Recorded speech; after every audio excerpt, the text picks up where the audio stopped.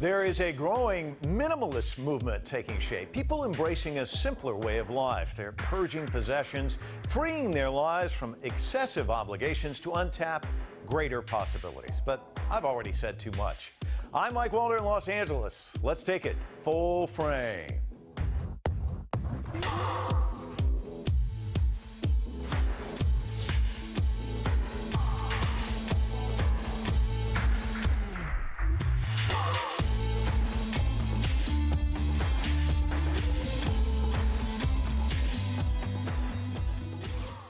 Ever wonder if there's any truth to the old adage that less is more? Well, the growing minimalist movement is proving that less can be more, much more.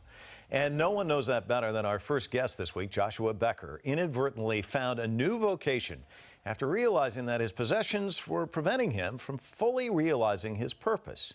A somewhat accidental blogger, he could hardly imagine that his musings about becoming a minimalist would eventually garner 2.2 million page views monthly.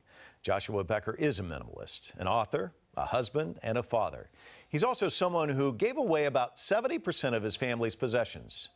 So, what happened next? Well, he found freedom, more money, and more time. He believes that simplicity is an invitation to a better way of life. He'll tell you intentionally living with less allows you to have a richer, more meaningful life experience. He's author of Living with Less, An Unexpected Key to Happiness, and he also penned the Amazon number one bestseller, Clutter Free with Kids. Joshua is here to share how having less, less stuff, can actually lead us all to greater gratification. Welcome to the broadcast. Thanks for coming in. Yeah, pleasure to be here. I love talking about this. Well, I'll try and be a minimalist in my questions. uh, what is it, minimalism? Uh, minimalism, I think, on the surface is about owning less stuff. It's about owning fewer possessions. It's about finding that there's more joy in owning less than we can find in pursuing more. Uh, it's a, a, movement that you see growing across all spectrums of society, young 20 somethings who want to be mobile and travel. You find it family men, you're just looking for a new way of life, um, entrepreneurs and startups, uh, retirees selling their homes so they can move around the, travel around the country. So I think everyone comes in with a different goal in mind, but ultimately, we've all become convinced that our possessions are much more of a burden than we ever realized. But uh, it, I would think that it's minimal how many minimalists there are compared to all of us who are just, I got to get this, I got to. We're all accumulators. How do we get to be the way we are? I mean, it's so much consumerism out there. Yeah, I would agree. I would agree. It's a uh, it's a growing movement, but uh, certainly still a minimal one, unfortunately. Uh, but uh, means I still have a job, I guess. So. No, you know, I think there's a lot of reasons. Obviously, the, um, the, the, world that we live in, we see 5,000 advertisements a day. Every single one tells us that we'll be happier if we buy more, that our life isn't as good as it could be until we buy whatever it is that, that they're selling.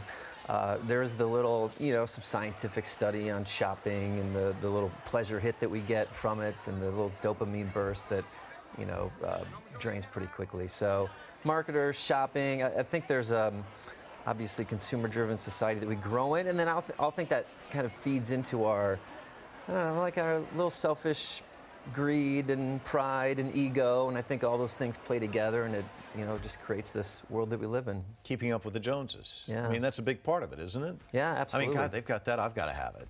But it doesn't bring pleasure to them or to us, and yet we think it does. Yeah, I think we're just told so many times, right? That's, that's just the message. We'll, we think we're going to be happier if we have more. Once we reach this income level, or once we buy this house in this neighborhood, or drive this car, or have this style of clothing, that once we, once we reach that, once we acquire that, then, then we're going to be happy. And you know, we get there and we find out that, that we're not. So we seek more, unfortunately. Tell me about when the light bulb goes off, uh, because at some point you have to sit there and you have to say, Wait a minute. So tell me about that experience for you. When did you have your epiphany? What caused it to happen? Yeah, I was doing the most mundane of things. I was cleaning my garage. It was, it was a Saturday morning, and so we were doing what most Americans do on the weekend. We were cleaning the house, right, running some errands, doing some shopping. I had uh, pulled everything out of my garage. My son was five years old at the time, and I had this dream that he would help me with the garage. But as soon as he found his toys, he was in the backyard, of course, asking me to play with him. And I kept pushing him off, pushing him off. And I just found that hours later, I'm still working on this garage. And I happened to cross uh, pass pass with my neighbor, uh, who makes this comment about, "Isn't it great owning a home?" Right? She'd been spent all day working on her home, and uh, eventually she says this. She says, "You know, that's why my daughter is a minimalist. She keeps telling me I don't need to own all this stuff." And I just remember looking at the pile of dirty, dusty things piled up in my driveway that I'd spent all morning cleaning, and noticing my five-year-old son alone in the backyard, and just the juxtaposition that not only were my possessions not making me happy, but they were actually distracting me from the very thing that did bring me happiness and fulfillment and purpose and joy. And there's a very different realization, and that that led to this decision to get rid of the stuff we don't need and, and uh, start living differently. Let me ask you this because I don't want to be the devil's advocate, uh, but, but I'm going to be. Yeah. Uh, I think about you arriving at this decision and that there are probably a lot of people like you but then the spouse doesn't necessarily arrive at that decision. There's minimalism where you go off and you're kind of separate or whatever, you know, you, divorce or whatever. Because I think it's it's got to be a mutual thing. I mean, did your wife say, "Oh, this is fantastic," or was there some pushback? Or I mean, it's a great idea if it's her getting rid of all of her junk, but when they when it's wait a minute, I'm not getting rid of my pool table or what, right? I mean, isn't that an issue? Yeah, I mean, it's the number one issue. I mean, the biggest question that I hear over and over again: What do I do about my spouse? What do I do about my partner? And it's it's always tough to know exactly where that's where that's coming from. Um, I know full well that, that my wife puts up with a lot of things that she doesn't like about me, you know, and so there's always grace and patience I think that we have to show to our partners and, and to our spouses. But she, she was in, I mean, she had been spring cleaning the inside of the house all morning, so I think she had the realization as well that, that we owned too much. Uh, if I wanted to get rid of 80%, she wanted to get rid of 60%. And so the first little bit went pretty well, and then I kept wanting to get rid of more, and she starts pushing back. And so, you know, just like any relationship, we learn we learn compromise. Uh, I've come to realize it's much easier to see everyone else's clutter than it is to see our own. So I can focus on my stuff. We can look for common areas. Can we all agree there's too many pieces of Tupperware in this cupboard? Can I get rid of some? And uh, you do the best, just like in any relationship. All the Tupperware, I can always find the bottom. I can't find those exactly. lids. That's why I want them all. I want it all gone. So. Uh, when did you first realize that it was going to impact your life in a good way? Because I think your assumption is that this is going to be a good thing, but you're not really never sure. I mean, are you? Very early on in the process, uh, it legitimately was. We started writing. Uh, we started the, the blog that night, just uh, more or less to keep my mom up to date on what we were doing. Um, but, uh, but very early on, one of the, the things as as you write and as you journal, you're, you're forced to think intentionally about what's happening and about what you're noticing. And like very early on, we started recognizing some of these benefits of, of owning less stuff. I mean, less cleaning. At the, at the very beginning, we had more money, there was less distraction, we had more time on it. I mean, just think of how much time we spend cleaning and organizing and maintaining and repairing and replacing. Like, just all that time that we spend. So we uh, we saw it pretty early on, and um, I think it propelled us forward. It motivated us forward to get rid of more stuff and go through more rooms and push even further. It's easier to find stuff when there's less stuff, right? It's I mean, easier to find stuff. You can find the keys in the wallet, right? Find your so umbrella. talk to me about kids though, because uh, you know we, we talked about the spouse. Kids, uh, they may not play with the stuff, but they don't want to get rid of it, do they? Yeah. Um, well, it depends on the personality. I uh, found that our, our son did much better with this than, than our daughter did. Um, but yeah, kids are very, I mean, there's a, a, study out of Great Britain that came out. Um, the average British child has 238 toys and plays with 12. Uh, I was in Stockholm not that long ago, and they were citing pretty similar statistics. Certainly, uh, America, you know, the numbers look look very similar. And it's very interesting because the, like I mentioned, the book Clutter Free with Kids, like it, it was a number one book uh, on parenting for like two or three weeks in America and Canada. Like I told people I was writing a book called Clutter Free with Kids, and parents couldn't wait for it to tell me when it's going to be done because we all know that our kids have too much stuff, and it drives us crazy.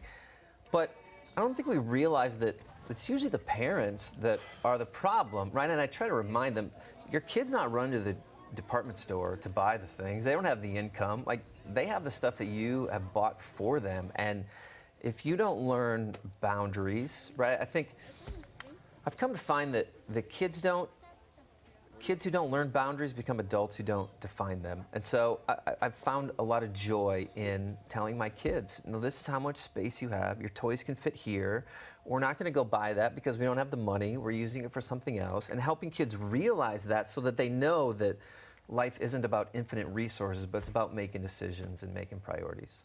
It's funny though. I mean, like if you think back, like uh, Christmas Day, all these parents who get like 30, 40 gifts for their kids, and then the kids playing with the wrapping paper at the end of the day. You know, they all the stuff's been pushed aside. Let me ask you this about minimalism. Um, is there a requirement? Is there like if I wanted to join your movement, do I like can I still hold on to the the big screen TV? I mean, what's the limit on what should you get rid of? What what I mean, when do you get to join the club? I guess. Yeah, I think the benefit is that there's no one setting the setting the rules for the club. There's there, minimal there's, there's no, minimal rules, right? There's no line about what you can join. Dave Bruno wrote a book called The Hundred Thing Challenge years ago. Um, it was on Newsweek and Time, like major media picked it up, and he tried to live with 100 things.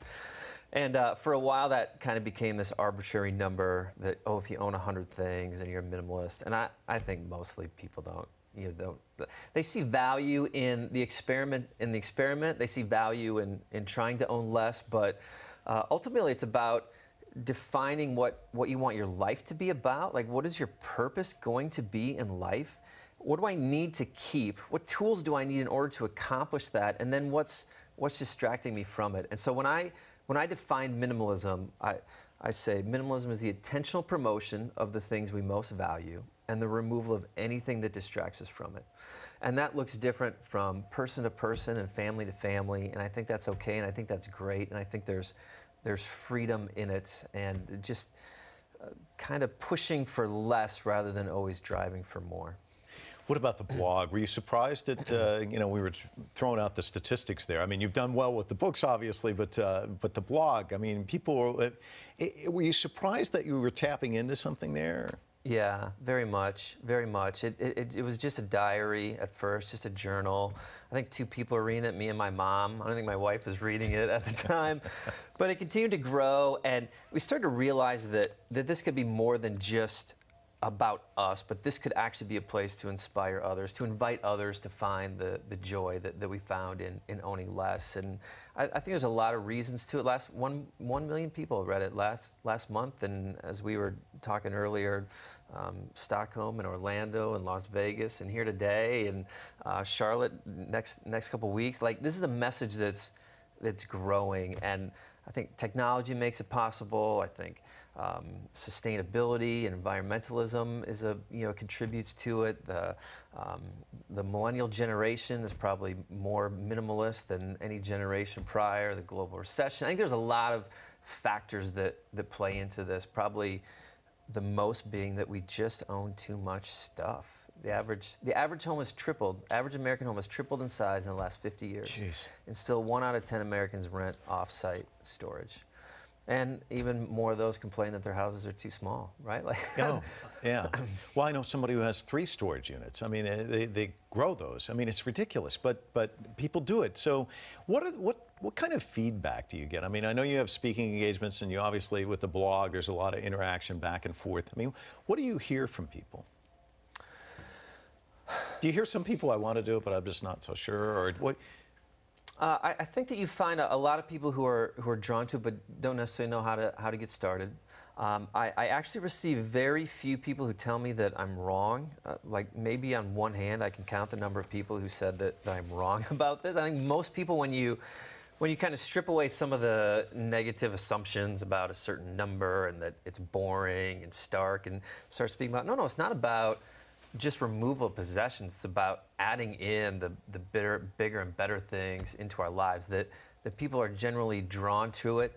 Um, and then I think they appreciate the, the freedom, like the newfound freedom that, that they find. It. I had an email one time, um, it was from a lady.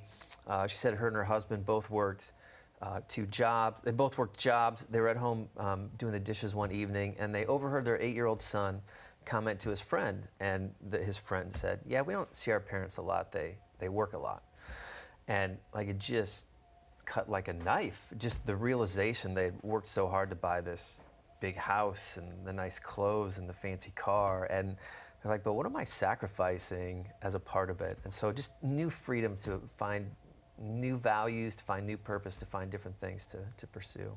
Somebody watching this broadcast, they're close, they want to jump. What would you say to them? Yeah, start easy, start simple. We get so wrapped up in the, the hard things, the my book collection or the sentimental stuff or my yarn stash in the craft room. Like we always run to the hardest things to, to get rid of. And I say just start simple. Like we started my, in my car, just pulling out everything in my car that didn't didn't need to be there. Just you know, go in your closet and pull out the clothes that don't need to be there. Uh, get some of the decorations that were just on clearance and don't really mean anything to you. The the kitchen cupboard that's overflowing and the drawer. Just like just get some of that stuff out of your way for a moment and just start to feel this this presence of peace and calm and, and um, newfound freedom. And then, and then I'll help you when you get to the harder things down the line. you sold me. I'm ready. Thanks so much. Great to see you. Yeah, thank you. Coming up next, a conversation with two minimalism pioneers.